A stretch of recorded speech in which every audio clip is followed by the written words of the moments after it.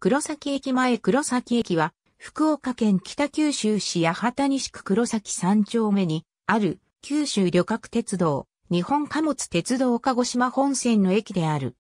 鹿児島本線単独駅であるが、折尾駅より筑豊本線の大型方面へ直通する系統も乗り入れており、この系統には、福北豊線の愛称が付けられ、当駅は同系統の起点とされている。なお、本校では当駅に近接している筑豊電気鉄道筑豊電気鉄道線の駅である黒崎駅前駅も扱う。黒崎駅前駅の駅番号は CK01。西鉄北九州線の電停だったが、1999年に現在地に移転、2000年11月に西鉄が熊西東駅間の軌道事業を廃止し、同区間の施設を保有する第三種鉄道事業者になり、筑豊電気鉄道が同区間の運営を行う第二種鉄道事業者となったため、筑豊電気鉄道が運営する駅となった。その後この区間においても2015年3月に筑豊電気鉄道が第一種鉄道事業者となったため、正式に筑豊電気鉄道の資産となった。島式ホーム2面4線を持つ地上駅。1984年10月に改築された6代目の駅舎を備える。直営駅で緑の窓口及び自動改札機が設置されている。また、駅自動放送が導入されている。駅番号は JA21。駅舎内には、うどん店、東地区圏の駅弁販売コーナーとランドール、ファミリーマートがあったが、2015年から始まった駅舎改築工事に伴い、うどん店とトランドールは閉店した。2019年4月25日に黒崎駅の商業スペースが駅町一丁目、黒崎として開業し、東地区圏、ファミリーマートが再出店するほか、トランドールに代わって、クロワッサン専門店ミニョンが新規出店、その他、スターバックスコーヒー、ドラッグイレブン、魚民、保育園が新規出店した。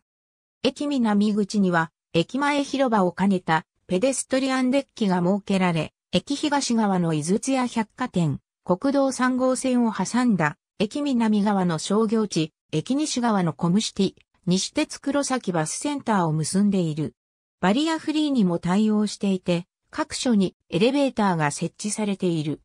駅改札内には、黒崎神社として安川電機が製造したロボットが、ボールを転がし、ついた先を、占いの結果として、おみくじを差し出すものがある。乗り場貨物取扱い、専用鉄道新日鉄専用鉄道へ貨車を引き込むスイッチャー JR 貨物の駅は専用鉄道発着のコンテナ貨物、シャー使い貨物の取扱い駅となっている。旅客ホーム北側にある側線群から分岐し、西側へ向かい、三菱化学黒崎事業所へ至る専用鉄道と、東側へ向かい新日本製鉄や綿製鉄所へ至る専用鉄道が存在する。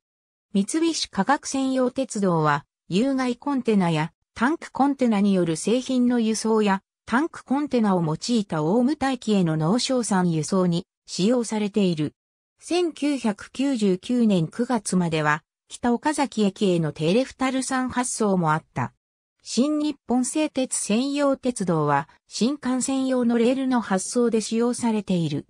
この専用鉄道が分岐する駅東側の操車場は1986年に廃止された西八幡駅である。1996年3月までは三菱マテリアル九州工場黒崎製造会の専用線もあり、石灰石輸送が行われていた。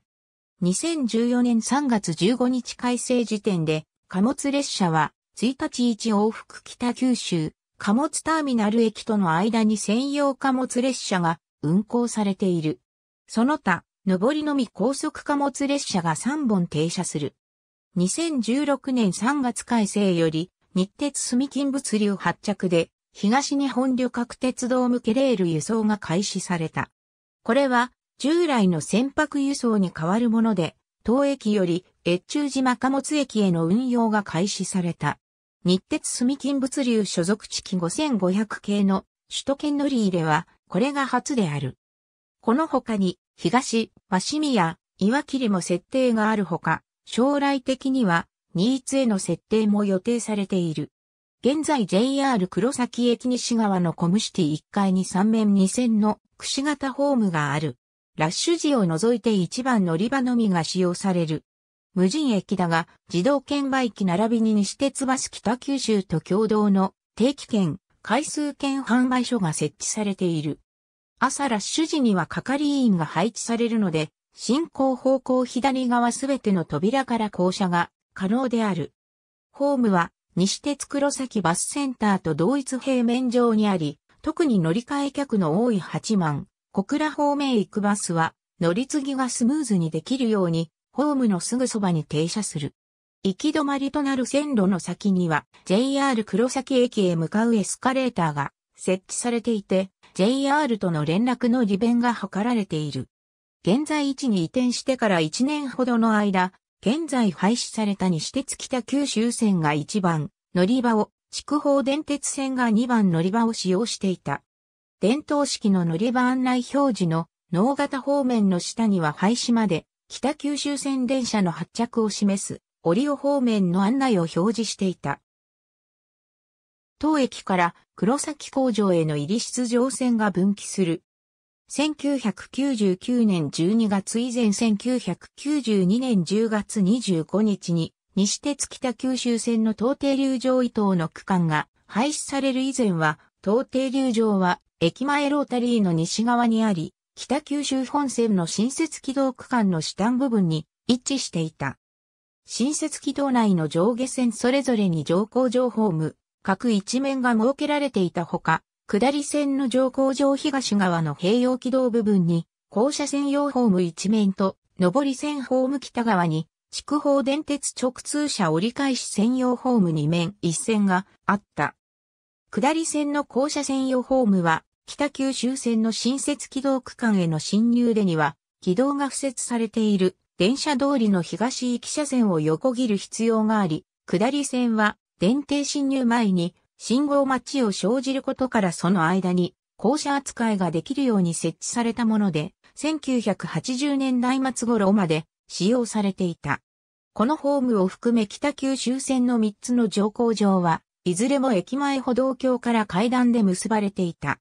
筑豊電鉄直通車折り返し専用ホームは、直通車増発に伴い1977年3月に設置された。